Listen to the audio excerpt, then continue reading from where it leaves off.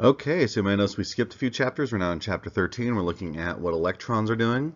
Uh, kind of big picture stuff is these next few chapters are all going to be geared towards trying to explain chemical bonding.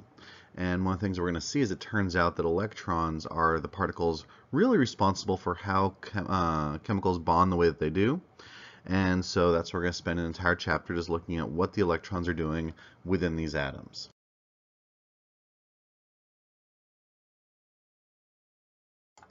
So we're going to look at the development of atomic models. We looked at a bit of this back in chapter 5, uh, so for the most part I'm going to gloss over um, the real details here until we get to the new pieces. So again, uh, first atom uh, model we had was a scientific model was Dalton's, and Dalton said the atom was considered to be a solid indestructible mass, kind of like a uh, pool ball.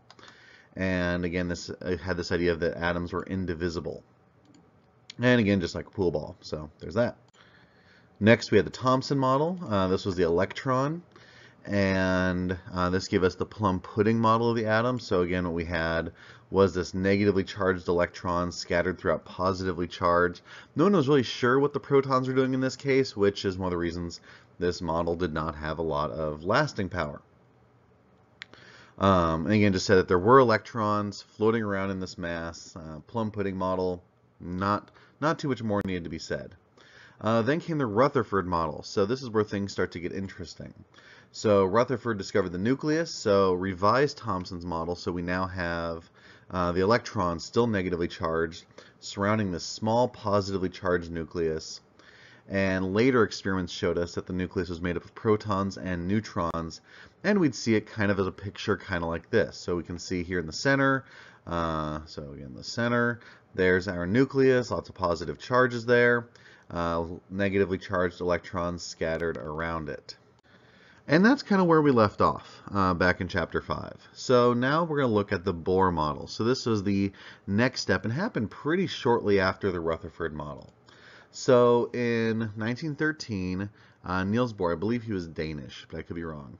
1913, Niels Bohr, who was actually a student of Rutherford's, uh, came up with a new atomic model.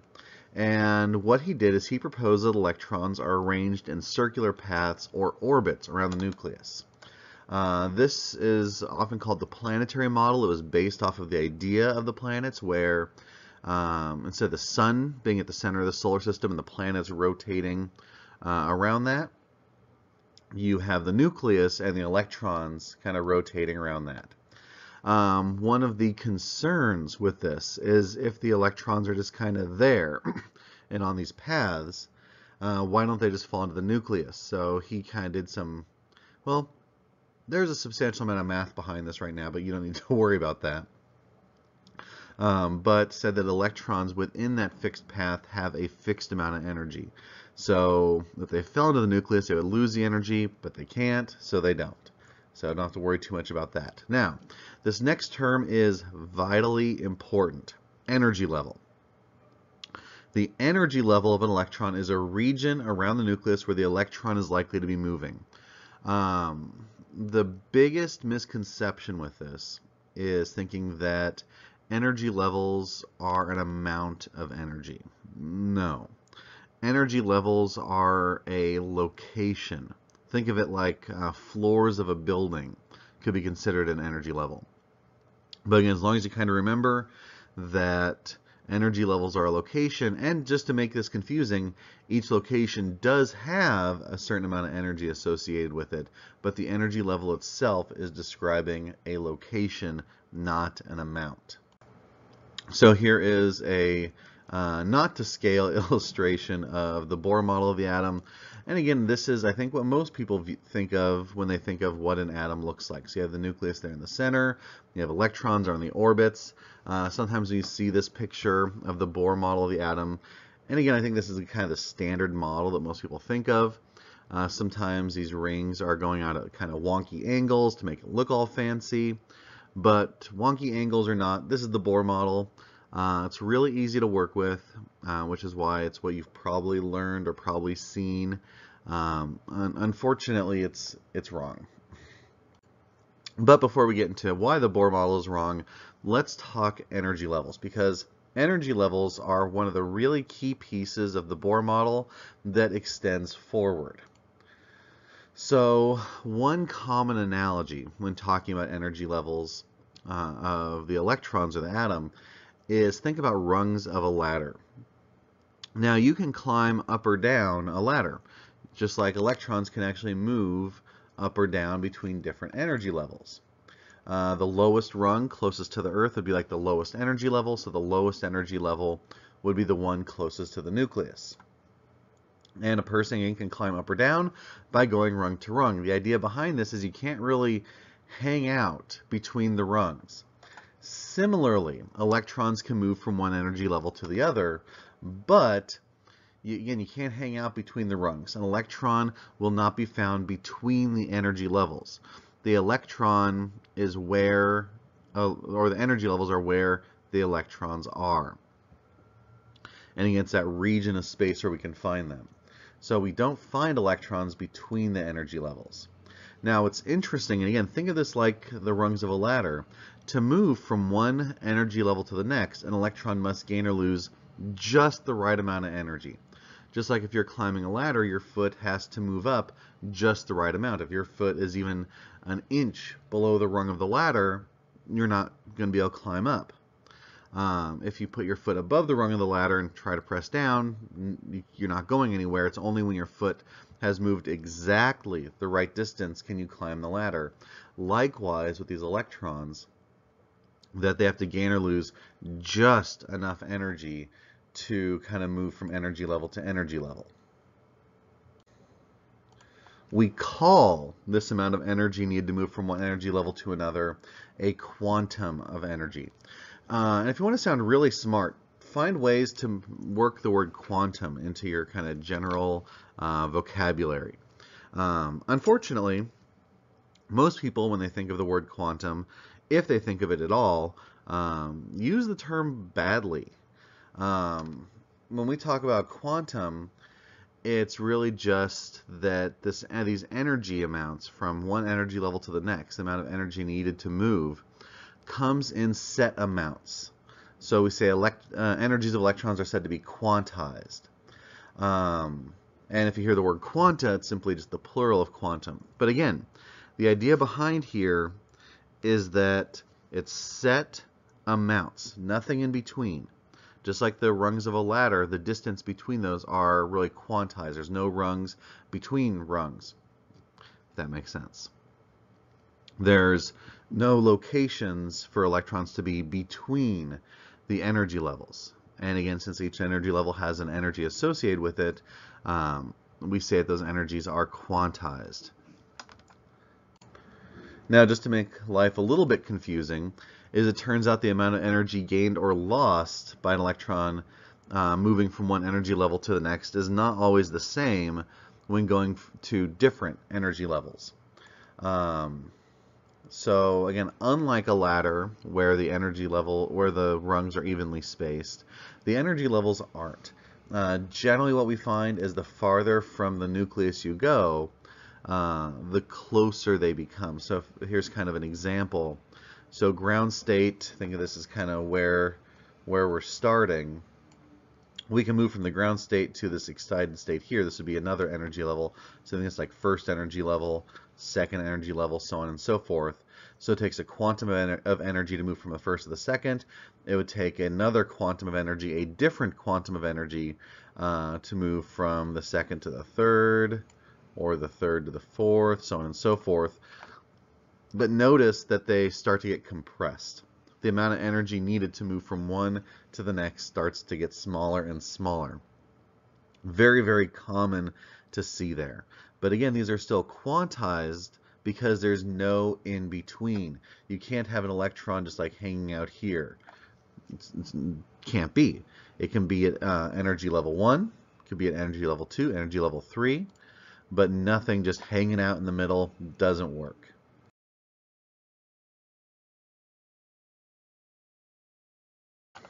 So we're now going to look at the uh, kind of modern model of the atom, uh, which is called the quantum mechanical model of the atom. So uh, this came about in 1926, an Austrian physicist by the name of Erwin Schrödinger. Um, and some of you, especially the more geeky amongst you, may recognize the term Schrodinger or the name Schrodinger uh, from something called Schrodinger's cat. I'm not going to get into what that means, but yes, that is that same Schrodinger. Um, anyway, so he used this new idea of quantum theory, and quantum theory really just saying, again, that the energies of electrons are quantized. That means that they come in small set amounts with, with nothing in between. And he wrote um, basically and solved a mathematical equation that allowed him to describe, in other words, to find the location and energy of an electron in a hydrogen atom. Note he started with a hydrogen atom because the because it only has one electron. It's the simplest form of matter. Um, now, where this differs is all previous models to the quantum mechanical model uh, were based on uh, the physics of large objects. So we kind of went with what we knew of how objects like us move around the world, and we assumed that electrons did the same. Um, the quantum mechanical model, however, is based primarily upon relatively advanced mathematics. Uh, and for those of you who are wondering, here is a very blurry image of the Schrodinger equation. Uh, I'm just showing you this just to show it to you. Uh, you don't have to solve this, um, and you will not have to solve it unless you become a chemistry or a physics major uh, as a chemistry major, you would solve this somewhere around your senior year in college. Uh, and by then you have the multivariable calculus to kind of back this up. And it's not terrible once you know what you're doing. It just looks really scary uh, right now. So, like the Bohr model, uh, the quantum mechanical model still has energy levels. So that's one of the really big things that we're taking away from the Bohr models. We're keeping this idea of energy levels, that electrons are restricted to these locations. But we're moving away from this idea that these energy levels are pathways. The quantum mechanical model doesn't support this. The quantum mechanical model uh, does something a little bit differently. Uh, instead, what the quantum mechanical model does is it says that there is a region in space in which there is a high probability of finding an electron. And that's the most of what we can say because the Schrodinger equation is based off of probability and statistics. So we can't say for certain there's an electron right here. There, it's there. No, it's there's a region in space in which there is a high probability of finding an electron. And so we can now view uh, the atom as kind of a, a fuzzy cloud. That you would have a nucleus in the center, so you kind of have a nucleus, and you'd have this area of probability around the nucleus in which we can find the electron. Uh, where it's densest is where we have the greatest probability of finding it. And so like with a hydrogen atom, so this picture on the screen, this is now what our atoms look like. Uh, it's a little unsatisfying, I'm aware. And what this is saying is this cloud, because again, it's all based on probability, this cloud represents where the electron would be about 90% of the time. Now I know a common question that gets asked at this juncture is, well, where is it the other 10% of the time? And the answer is an unsatisfying somewhere else. Again, it's a consequence of this coming from probability and statistics. So, just like in the Bohr model, just to remind you, we are still using energy levels. And we call energy levels the principal, quantum number, and they're really the same thing. It's kind of, it's like saying the first floor of a building is floor number one. This is saying the first energy level has a principal quantum number of 1. The second energy level has a principal quantum number of 2. So again, each principal quantum number refers to the energy level. So again, these two terms really are interchangeable. And these are assigned in order of increasing energy uh, and also distance from the nu increasing distance from the nucleus. So the first energy level is the lowest energy, and it's the one closest to the nucleus. The second energy level has the next highest amount of energy, and it would be the next closest to the nucleus. And these are always whole numbers because again, we don't have fractions. There's no there's no in between. Uh, and again, as we get to higher energy levels, we get farther and farther from the nucleus. Now this is where it gets a little bit funky. Uh, within each energy level, there are sublevels that make it up. So you can think of this like a few, uh, with a few different analogies. So think about like energy levels in the building. So you have a building, that's our atom. And you have floors on that building or in that building. Each floor would be like an energy level. Within each floor, you might have various rooms. The rooms would be like the sublevels. Another example is uh, like rows and sections in a stadium. You might be in section one and there's rows built into that. Now the rule is there will be a number of energy sublevels equal to whatever its energy level is. So working with our building analogy, it's going to be a very weird building. Uh, on the first floor of the building, that's like the first energy level, it only has one room because the first energy level only has one sublevel. The second floor of the building would have two rooms in it because the second energy level is made up of two sublevels. Uh, let's say then we get to the third floor. Third floor is made of three rooms. Third energy level, three uh, sublevels. Uh, energy level four, four sublevels. So fourth floor of the building would be made up of four rooms. Now in all of this sublevels and energy levels, where are the electrons? So again, there's no set orbit anymore. Instead, we have these regions of probability of finding an electron. We call these regions orbitals. Orbitals. And not orbits anymore, orbitals. And these orbitals are what make up the sublevels. And we'll see that gets a little bit more complex in a moment. Uh, now, orbitals are designated by letters. There's different types of orbitals. Each orbital type has a different letter associated with it. And um, also they come in different set amounts. So one uh, sublevel type comes in sets of one. It's just one, one orbital hanging out by itself. One orbital type comes in sets of three. So if we have that sort of orbital, there's three of them. And we'll see how this looks coming up. So these shapes of orbitals. So the simplest type of orbital, and we're going to kind of go in order because there is an order to these. Uh, the first sort of orbital that we have is called an s orbital, and they are spherically shaped. So here's kind of a picture of what that would look like. So if you had an s orbital, so like that uh, diagram I showed you earlier of the fuzzy cloud shaped kind of like a sphere, that would have represented an s orbital. Uh, next are p orbitals. p orbitals are kind of barbell shaped or like like a figure eight, uh, and they come in sets of three. So again, you can see one, two, and three. Uh, and the way that those are lined up is that uh, you have those two spheres, one lined up along the x-axis uh, kind of horizontally, one aligned with the y-axis vertically, and one aligned with the z-axis, uh, kind of giving us three dimensions. You need to know the shapes of s and p orbitals. Okay. Next comes the d orbitals. d orbitals come in sets of five.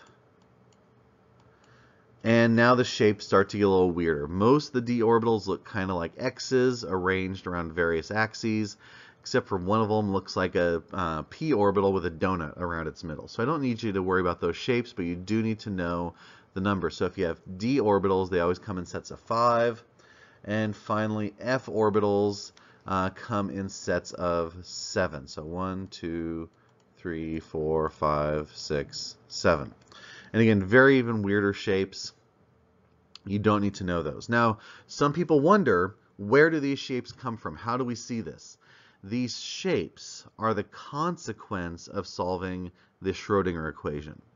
When you solve the Schrodinger equation for where electrons can be, these shapes, these three-dimensional shapes, are actually the output of the Schrodinger equation.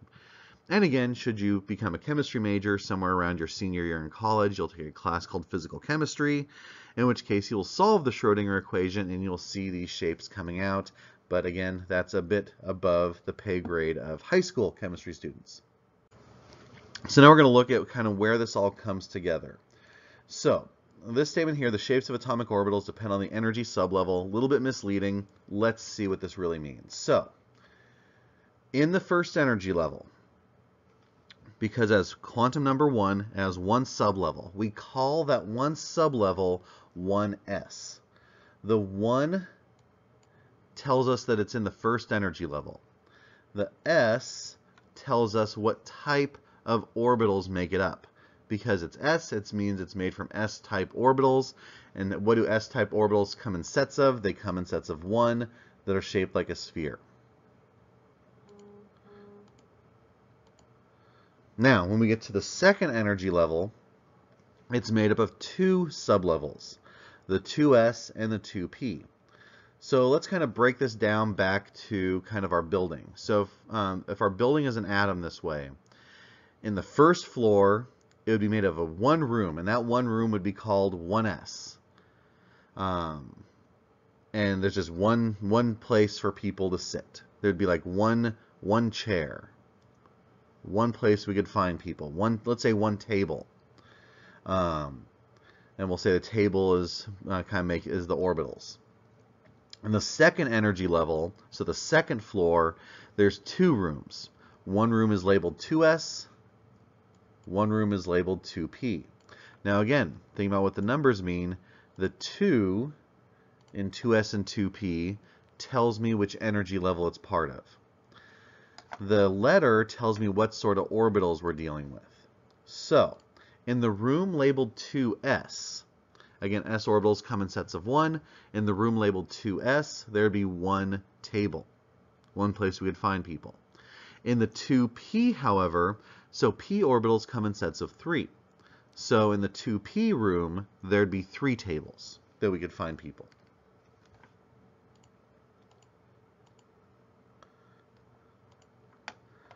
So there. So we're going to keep going. So now we're going to talk, uh, let's say, third floor, third energy level. So the third energy level has three sublevels, 3s, 3p, and 3d. Again, the number is telling us the energy level it's in. The letter is telling us the orbital type. So again, breaking this down to our building. On the third floor, there'd be three rooms, one labeled 3s, one labeled 3p, one labeled 3d. In the 3s room, there'd be one table. The 3p room, there'd be three tables, In the 3D room, there'd be five tables. And then we finally get to the fourth energy level, the fourth floor. Uh, so there'd be four rooms, the 4S, the 4P, the 4D, and the 4F. The 4S room would be made up, would have one table. The 4P would have three, the 4D would have five, and the 4F would have seven. So those are different locations in which um, orbitals can be found. Now, you can tie all of this together and say that the maximum number of electrons it can occupy any energy level, not sublevel, but an energy level is given by the formula 2n squared, n being the energy level number or the principal quantum number. So if we're in energy level 2, let's say, so if I do 2 squared, that's 4, times 2 is 8. Now again, where does this come from? It turns out that each orbital can hold two electrons. And we'll learn more about this coming up. Each orbital can hold two electrons. So, in the second energy level, you have the 2s and the 2p. The 2s consists of one orbital. The 2p consists of three orbitals. Um, and again, each orbital can hold two electrons. So we have four electron, uh, four orbitals total for a grand total of eight possible electrons in the second energy level.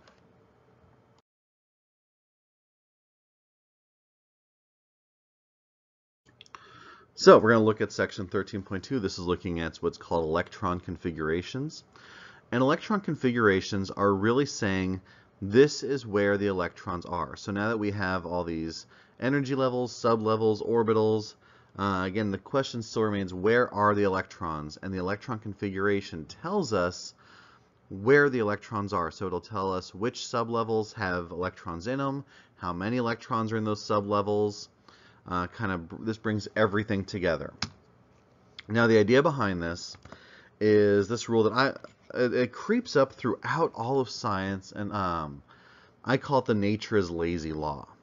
And it uh, really says that in all natural phenomena, means that things that occur naturally, change, change proceeds towards the lowest possible energy state. In other words, things happen naturally so that it gets us in the lowest amount of energy. And the idea behind this is that high energy systems are unstable. And if they're unstable, they will change to become more stable. And more stability means lowest energy.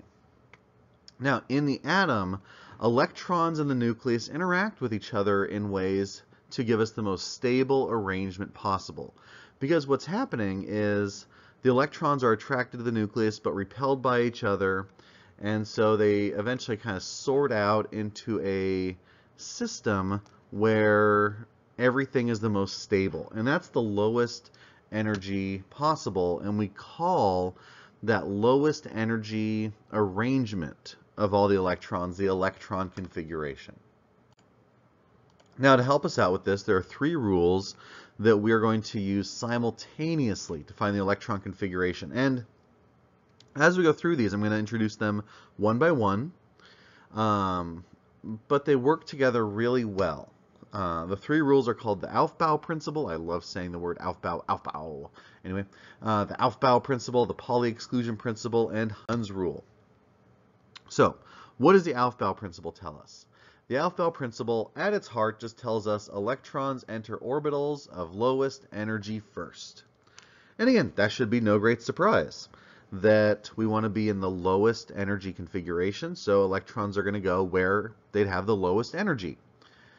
Um, now the kind of sub-bullets here, we'll address these one by one. So the various orbitals within a sub-level of a principal energy level are always of equal energy. What this means is if you have uh, a sublevel like 2p, which has three orbitals in it, those three orbitals in the 2p sublevel all have equal energy. So if you have uh, orbitals within a sublevel, they're all equal energy. Uh, S sublevels will always be the lowest energy sublevel for an energy level. And what we're going to see as we proceed with this is they can actually start overlapping, especially uh, once we get to higher energy levels. So as we get to higher energy levels, the kind of high end of uh, one energy level may overlap with the low end of another. Luckily, you don't have to remember all those little weird overlaps because you're going to see you have a tool that will help you do this. So this is the tool that we're going to use. And you have one of these uh, in your notebook. And you would be given one of these on the opportunity. Very, very handy. Um, so this is not complete. There's a much more complete one in your textbook. Um, but this one will work for our purposes today. And we're going to see how we can use this tool to tell us where electrons are. Now, the general convention is we represent electrons as arrows, either pointing up or arrows pointing down. Um, now, as a note, when I do this, when I'm drawing these myself, I've always seen it as these little half arrows. Um, that's just the way I was taught it. When you see it, me doing this on here, I actually was able to um, print out an arrow through a font, so you'll see a full arrow pointing up or down. You can do a full arrow, you can do a half arrow, really doesn't matter. So, uh, we're going to look at the situation here. And what the Aufbau principle tells us is we always fill electrons starting from the bottom. Um, I think I have this on a later slide. It's like filling up a cup of water. You have to fill up the bottom before you can fill up the top. So we ask ourselves, if we're going to start filling electrons, which sublevel has the lowest amount of energy? Well, that'd be the one at the bottom. So that would be the 1s. When the 1s is filled, we could fill the 2s. When the 2s is filled, we could fill the 2p's. Then the 3s, then the 3p's, then the 4s, then the 3Ds, then the 4Ps. We just keep going up. Fill from the bottom to the top. And we have to fill up a sublevel before we can move on to the next one. So, what are we looking at here? So this would represent an atom with one electron. So this would be like hydrogen. So we can see there's one uh, electron, goes in the 1s. Uh, notice I have my arrow pointed up. This arrow could be pointed down. That would be just as correct. Um, I would choose, just to make your life simple, a default. Will your first arrow in a box be up or down? And just be consistent about it. Me, by default, I always do up. You don't have to, though. And again, I like to think of it like filling up a cup. So the next one is the Pauli exclusion principle. And what this tells us, and we talked a little bit about this in the previous section, is that any orbital can hold at most two electrons.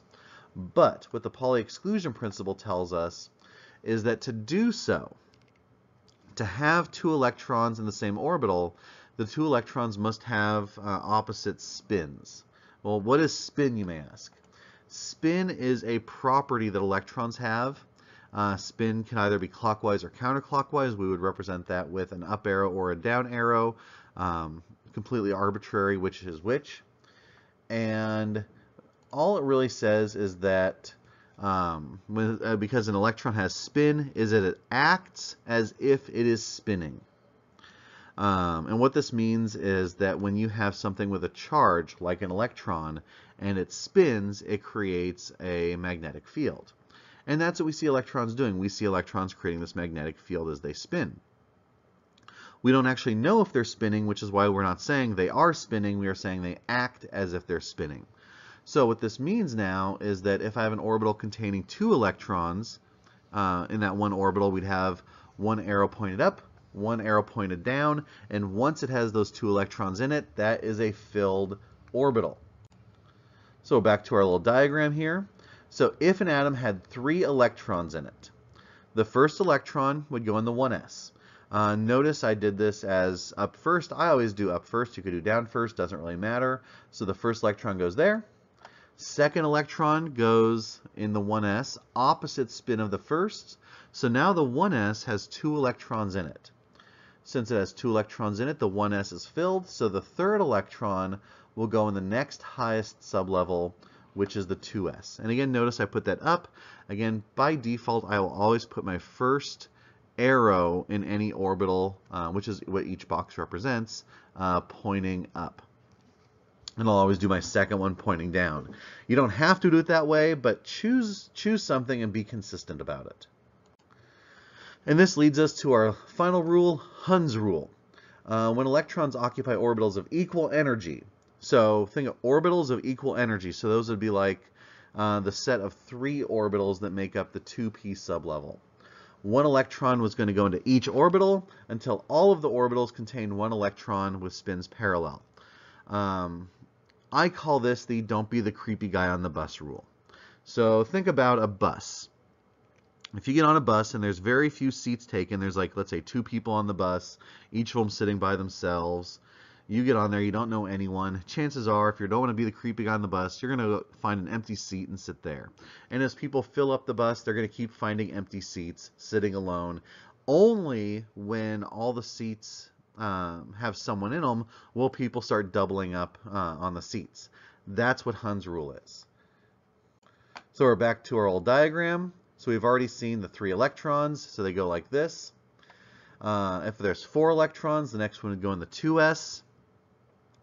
And then for the next three, they'd go in the 2p. So here'd be electron 5, 6, and 7.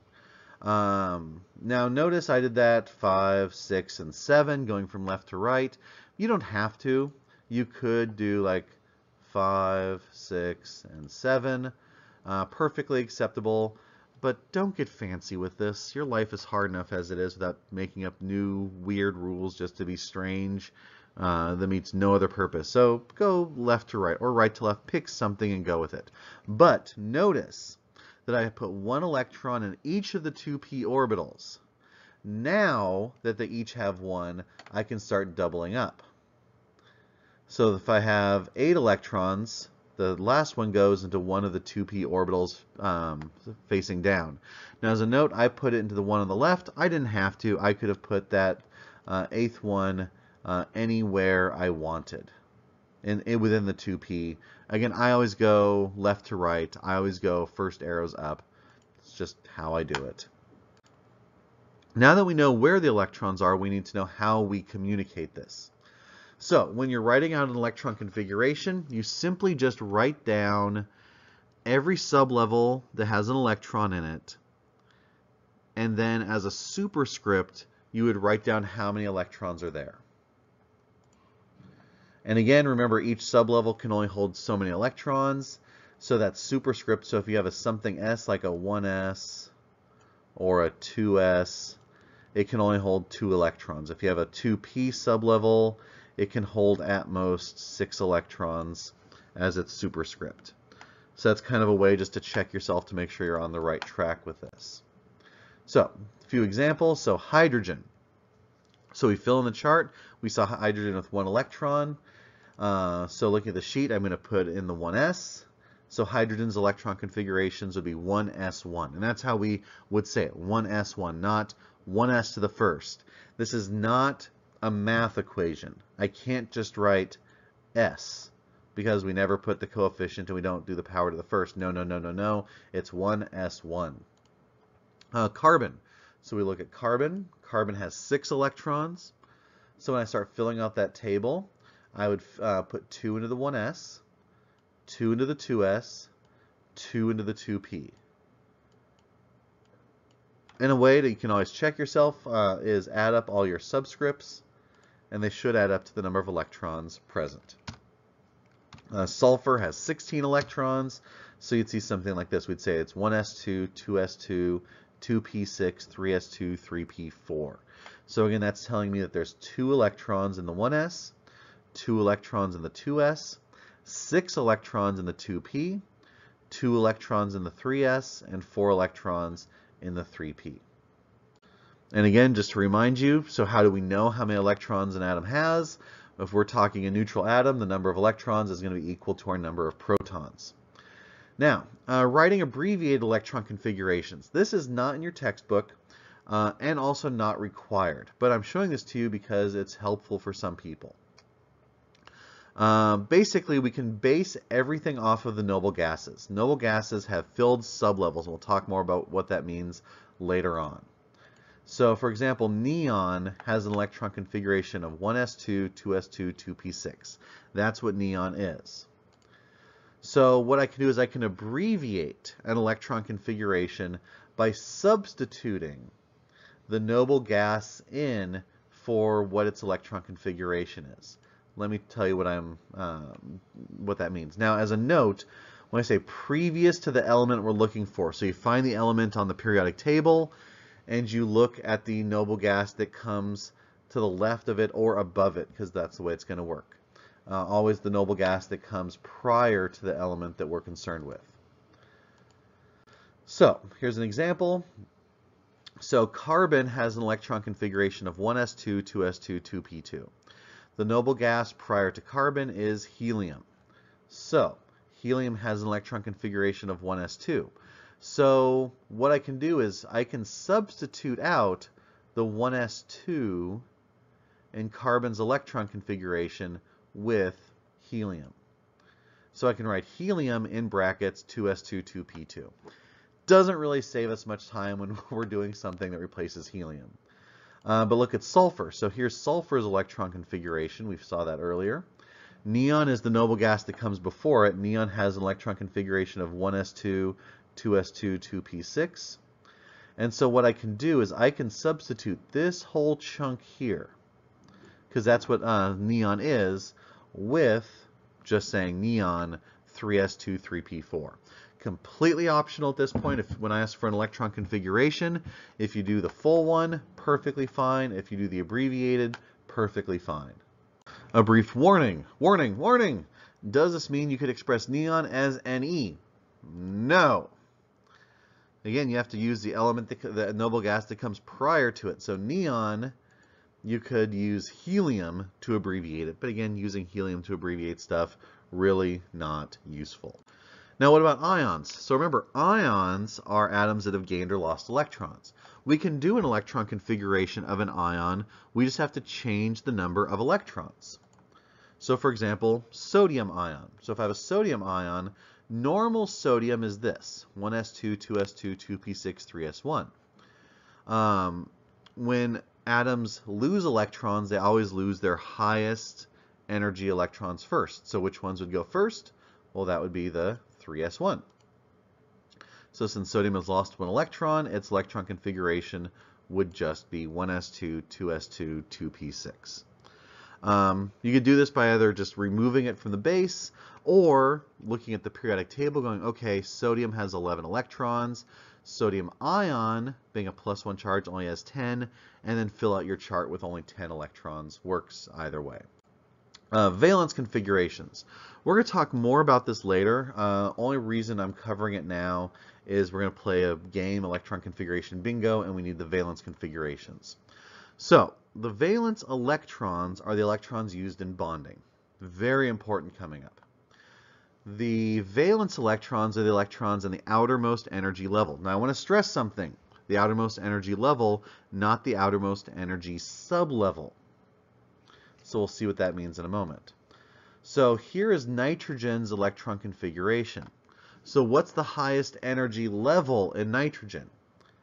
It's not 2p, 2p. 2p is a sublevel. 2s is a sublevel. The highest energy level is 2. So everything in that second energy level would be the valence electrons. So if nitrogen has an electron configuration of uh, 1s2, 2s2, 2p3, its valence configuration would just be what's in its highest energy level, so 2s2, 2p3. So you only list the sublevels in the highest energy level when you're doing a valence configuration. So, transition metals are weird. We know that transition metals are weird. Transition metals break the rules they continue to, or they break the rules because they get weird electron configurations. So oftentimes with the transition metals, we get like half-filled sublevels, we get stuff that's skipped, we get weird stuff happening. Do we have to worry about that?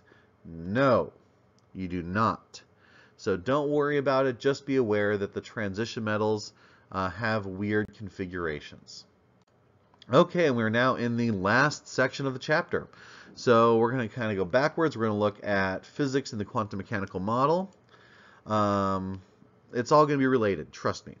So our first idea of what light was came from Newton, thought that light was a particle. Uh, in the early 1900s, scientists viewed light as a wave, so Newton thought light kind of as like matter. Uh, scientists later said light was a wave, it's energy. Um, and the energy type that we would view it as is called an electromagnetic wave. We'll talk more about that in a moment. Interesting note, uh, we now say they're both right. It's, it's both. Both are correct. But light, it can be treated as an electromagnetic wave.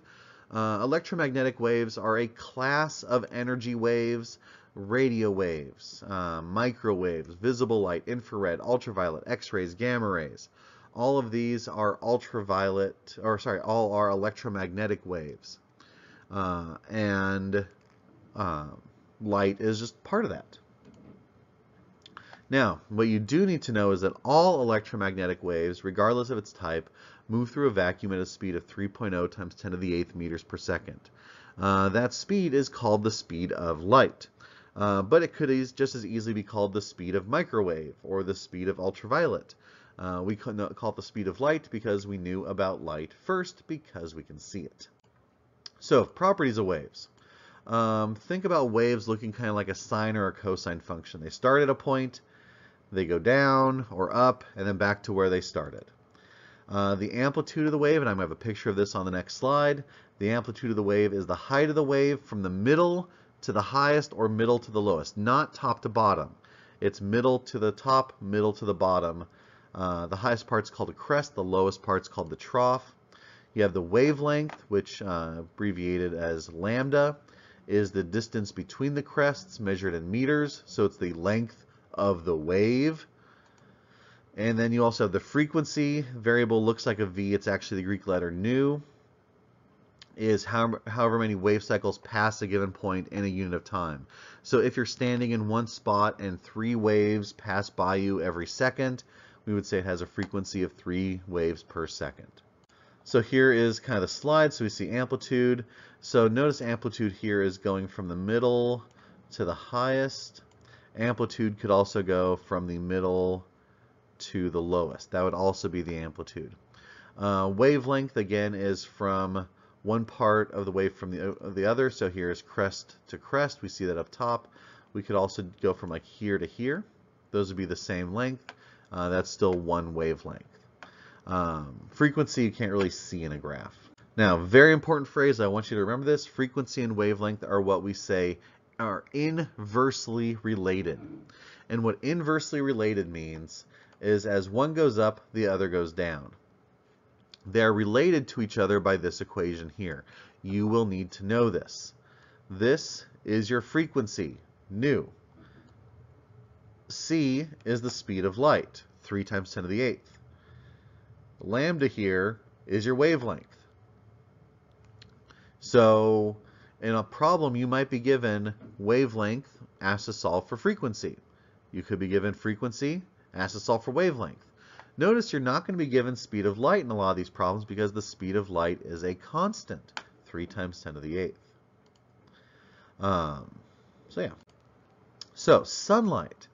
Uh, sunlight, also called white light, consists of light with a continuous range of wavelengths and frequencies. When you pass sunlight through a prism, you get what's called a spectrum, also known as a rainbow. And we get that red, orange, yellow, um, green, blue, indigo, violet.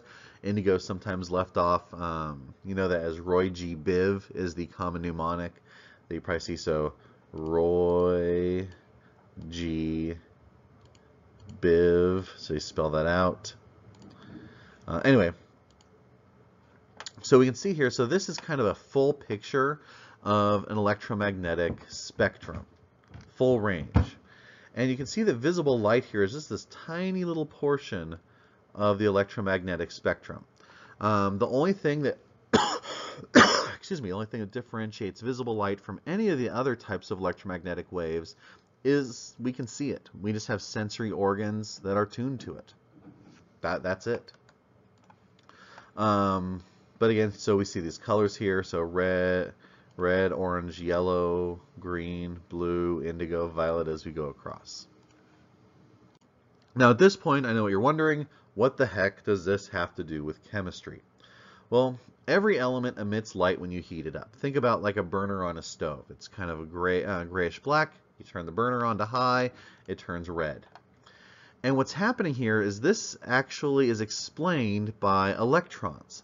The colors that we see are because of electrons. Because what happens is, as something is heated up or just absorbs energy, the electrons start off in their ground state. That's the normal electron configuration. They gain certain amounts of energy. So they jump up to higher energy levels. They call it the excited state. But the excited state is unstable. So they're going to fall back to the ground state. But as they do so, because energy doesn't just vanish, they emit uh, energy in the form of an electromagnetic wave.